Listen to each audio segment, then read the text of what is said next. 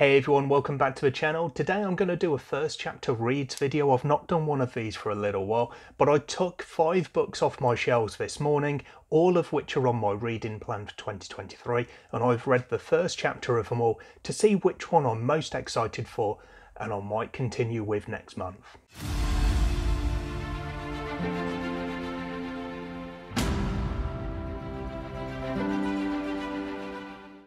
So the books I've chosen for today's first chapter reads are all from my reading plan 2023, as I say, and they're from two key areas. I've, uh, I've got two books from my list of 10 self-published titles that I want to read, and then the other three are all opening books of series that I want to read as well. So I'm going to go through them in the order I read them, which is by uh, shortest to longest chapter, starting at nine pages, and then the longest chapter was 23 pages. First of all, I've got Ascendant by Michael R. Miller, which is one of the self published books in my list.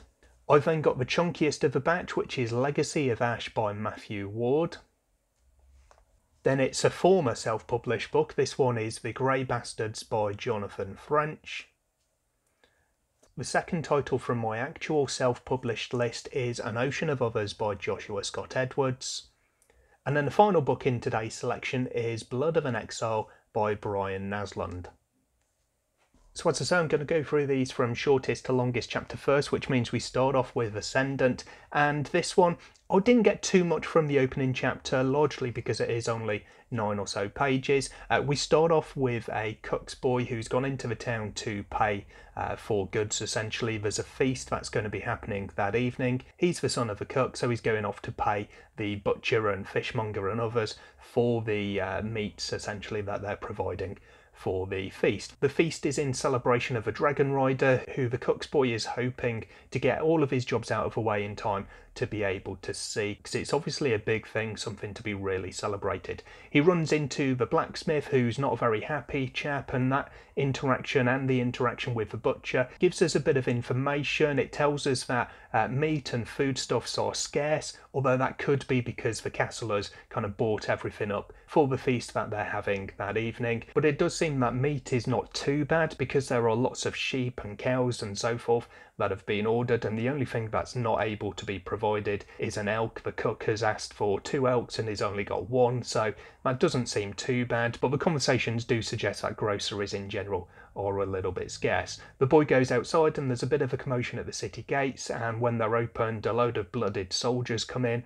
There's wagons which are obviously carrying the dead or the very badly injured, and then a dragon lands, and the dragon rider calls the boy over to him. So it doesn't give us too much, but it does give us a bit of information about the world. It tells us that there are lots of different types of dragons that we do get uh, kind of uh, verbally introduced to. We don't actually see any until that dragon right at the end, but there are lots of types of dragons, and we learn that we're all very different, at least in their mannerisms and what they like to eat. So there's a bit of world building already in this short opening chapter. It does read absolutely fine, it's one that I could definitely continue with, but it doesn't really suck me in. I think the hook is there right at the end, what's happened to these soldiers, and presumably we'll be finding the answers to that in the next couple of chapters.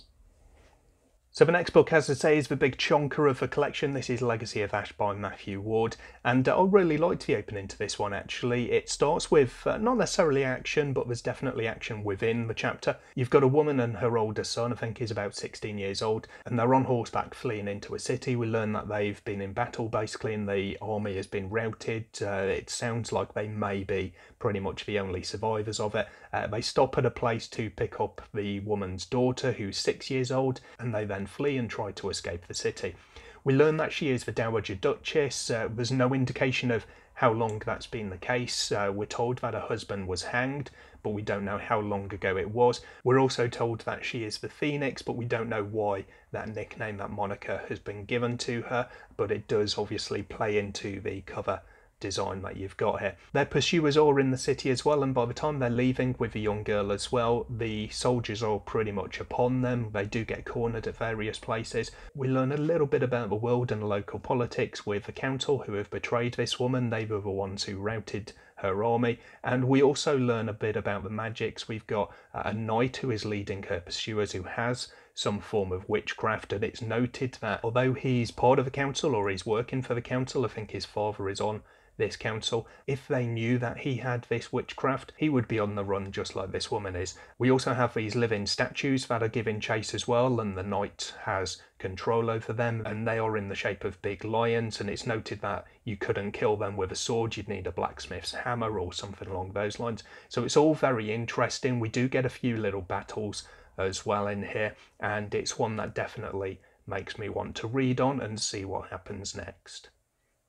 Then we've got the one that bridges the gap because this one used to be self-published and is now traditionally published. It was actually a winner of a former SPFBO competition. This is The Grey Bastards by Jonathan French and this one is all about half orcs. The chap on the front cover there is one of these. We have three of these half orcs who are at a brothel, two male, one female, and uh, one of them wakes up and goes outside because he's been caught by one of his mates, and there's riders who are approaching.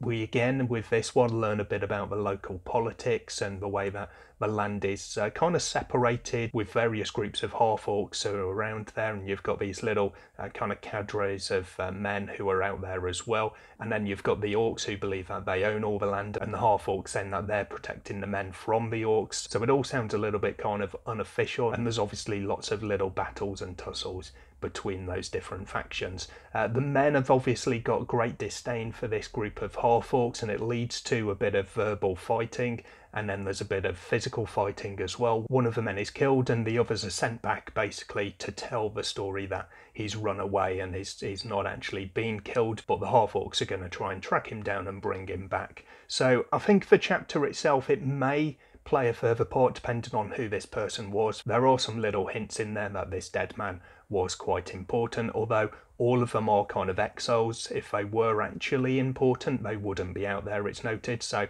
we don't really know. But it sounds like it's more of a chapter to tell you a little bit about these half orcs and how formidable they are, rather than to set up actual story. So again, interested to see where this one goes and how it all develops. So next up is An Ocean of Others by Joshua Scott Edwards, and this one was quite an interesting setting. Uh, on the frontier, you've got kind of this glowing blue paper that the guy's holding, and that does come into play in the story as well. So it gives us a little bit of magic that I'm interested in learning more about. Uh, but the main character we follow is a bounty hunter. It's a first person, it's the only one that's in the first person out of the five that I've uh, gone through today. Um, and he's telling the story about a little bit about the city, first of all, I guess. And you've got this uh, riot which sprang out of nothing. It's said several times that nothing kind of started it, nothing led to it. Um, but it nearly brought the city to its knees, basically. And then you've got this agency that was set up to bring it all under control. And you've got the bounty hunter, is noted as being one of, if not the last bounty hunter in the city. He's chasing a thief looking for a pendant that he's stolen, basically. He doesn't care about the thief, he doesn't want to kill him, he just wants to get the pendant back for his client so that he can get his pay. You then meet one of the fingers, they're called, of this agency. He's kind of an enforcer and he actually catches the thief. Uh, there's then this magic that comes into play. The bounty hunter sees this uh, kind of magic glowing blue bit of paper. Uh, he manages to get his pendant back, but they almost end up burning the city down because this thief has got this kind of, uh, I can't remember what it's called, hellfire or something like that in him, and uh, killing him kind of sets it loose. So they have to put out the flames before the surrounding buildings go up. But it does lead to kind of a suggestion of friendship between the enforcer and our bounty hunter. We're told that because he's the only bounty hunter left, they're a dying breed basically. He should come and join the agency and work with them, and it sounds like he's maybe considering it.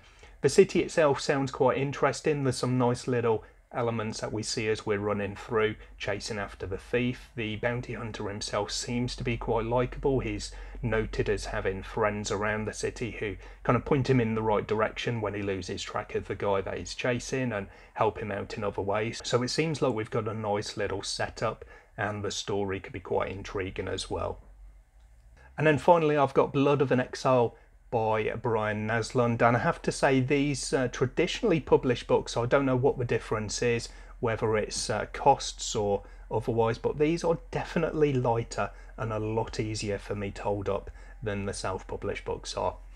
Little bit of an odd one there. Uh, but with this one, we've got a Dragon Slayer. We focus on a youngish boy. We're not sure, I don't think at this point, what his actual age is, but he's the apprentice of an apothecary and he's getting everything ready basically for a dragon slaying. So he and his master will go out with all of their bits and pieces to tend to basically the dragon slayer, whether he's dead or injured after the dragon slaying, or as it's expected to be, the attempted dragon slaying. So we learn a little bit about the dragons largely through the apothecary kind of testing his apprentice, asking him questions, which of course he gives all of the correct answers to first time. We learn a little bit more when he's talking to the Dragon Slayer and telling him uh, what type of dragon it is and a little bit about the recent, at least, history of it. The Dragon Slayer himself is a bit of a legend, but he also seems to be quite a bit of a drunk. Uh, we learn a bit about his legend. We hear some of the stories of how he slays all of these dragons, which seem impossible, but that's kind of how stories and legends are, really. And then we see the actual dragon itself and the dragon slayer trying to kill it. This bit does have a degree of the impossible that's mentioned several times. Uh, the dragon slaying itself does seem a bit too coincidental, but that's kind of all built into, I guess, the legend that makes up the actual dragon slayer. And then because he's injured, the apothecary's apprentice is kind of stitching him up, and he notices that the wounds start healing themselves the Dragon Slayer tells him basically that some things you witness could be bad for your health, and then the dragon turns out not to be dead, kills the apothecary, and then the Dragon Slayer throws a spear with enough force to go straight through its skull and kill it. So again, the impossible is mentioned, and it does give lots of intrigue as to how that all works. We also learn again a little bit about the world and how these Dragon Slayers come about. They're marked, they've got tattoos on their cheeks. They're normally as per the title, exiles, people who've done something wrong and they've been sentenced basically to go out and try and kill dragons, pretty much, I guess, as a means of getting rid of these guys because, as you hear in the story, most of the time the dragon slaying is unsuccessful. So it's an interesting one. It's perhaps a bit of a tired trope with the uh, kind of old, uh, seemingly invincible but also drunk warrior but uh, the story itself, the writing of it, and the uh, the actual world that you hear about is quite interesting. So all of these titles have been on my reading list. Of course, I'm interested in reading them all, and that's why I've got copies of them and I've put them on my reading plan for the year. I think they are all very different stories from at least the well, the synopses as well, but from the opening chapters that I read of them. I've got one which I've heard might be a bit more for the younger reader, and that one, Ascendant, did definitely come across that way a little bit. It was very easy reading and might be geared to the younger reader, but I only read a short chapter, um, so it's far too early to tell that. It certainly seems that it's more open to the younger reader rather than specifically aimed at them, but I'll find out whenever I do get to this one. I've got a couple that definitely sound a bit more heavy going. An ocean of others may be amongst those, but the writing of it is really kind of free flowing and it's nice and uh, really accessible. And I think in that one, the first person narrative does actually help with that because we get more of the personality really of the main character through that one and he does seem uh, as he's portrayed he does seem to be quite a likable character one that i think that i could get along fine with when I'm reading the book. With The Grey Bastards and also Blood of an Exile, the two chapters that I read from these seem to be very much scene setting there to tell you more about the person or the characters involved rather than kind of setting the scene itself, so to speak. I could be wrong in that, but they do seem to be more to tell us what type of person we're dealing with here with the trio of orcs, or half orcs rather, and with the uh, legendary kind of drunkard, slightly magic Oh, I don't know, Dragon Slayer. Both of those, because they tell us more about the characters and less about what I expect the story to be, are a bit more difficult for me to judge. The characters seemed okay, although, as I say, the kind of drunkard of the Dragon Slayer in Blood of an Exile does seem a little bit kind of worn for me. It's not one of the ones that I tend to prefer. The Half Orcs didn't really give me anything beyond showing me how kind of not brutal they are, but how formidable, as I say, they are, how how they can stand up for themselves and how they're not to be messed with. Both of those stories are quite interesting for me, but they definitely need to show me a bit more, which would come over the next chapters rather than what they show me in the opening chapter. The one that I think worked best for me then, and the one that I'll put on my April reading plan, because it's uh, already time for me to start thinking about that one, I guess, is Legacy of Ash by Matthew Ward, which is, as I say, quite a chunky one. It's 750 plus pages, 770 or so. Um, but I have heard some pretty good things about this one. It's a military fantasy, from what I'm told as well, and I do get along with those quite well as a general rule. But I just thought the opening of it worked really well for me. It put us into the action, but it gave us plenty of detail. I didn't feel lost with it at any point for being kind of thrown in at the deep end. Uh, so I'm definitely excited to read all of these, but I think this one is the one that spoke to me the most from the opening chapter, and I'll be picking up first out of this little batch. So that was a real mixed bag of titles in terms of the story and the feel of them, rather than any of them being necessarily uh, good or bad, because I think they were all pretty decent opening chapters. Just some of them obviously worked a little bit better for me. I am, as I say, looking forward to reading all of these and will be doing so, or aiming to at least, this year because they are all part of my reading plan for the year. So you can look forward to my thoughts on all of these books over the coming months. But uh, yeah, Legacy of Ash, I'm looking forward to reading in April, so you can hear my thoughts on that one first of all. In the comments down below, let me know if you've read any of these. How do my thoughts on the opening chapters reflect to the rest of the book in your opinions? Are there any of the other ones at least that you think I should put ahead of the others and prioritise? Thanks very much for tuning in, I appreciate you as always. I hope to see you in the next video sometime soon, but until then as always, take care of yourselves, read some good books. Bye for now.